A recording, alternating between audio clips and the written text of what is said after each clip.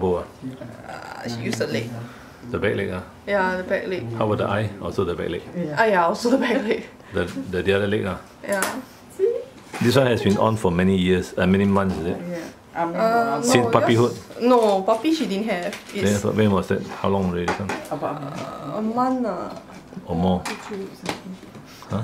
about the most is a month. She bite herself, so right? Those are bite marks, right? yeah, Yeah.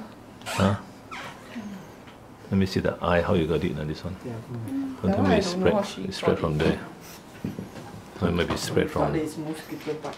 No, it's rubbing. Uh, the parts also have or not?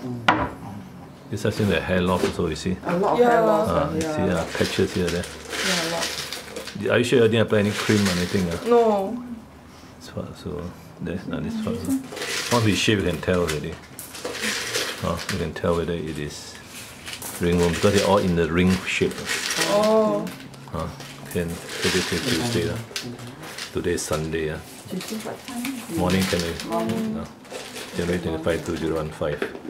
Sunday. Hmm. Seven months old pug, right?